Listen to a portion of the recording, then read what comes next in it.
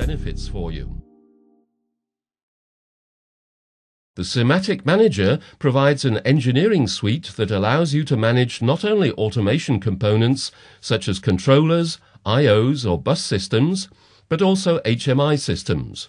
Its integration into the Step 7 project provides a threefold uniformity in terms of configuration, data management, and communication. This means a wider scope of functions for the HMI solution, for example because Step 7 messages are supported.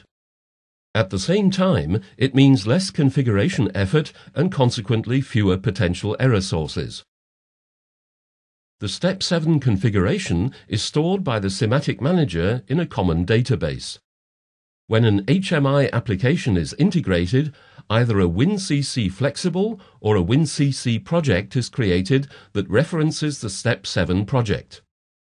All relevant parameters are taken from the Step 7 database. When the HMI project is now further edited with the appropriate configuration tool, the connection parameters, symbol information and messages are ready for use as a basis.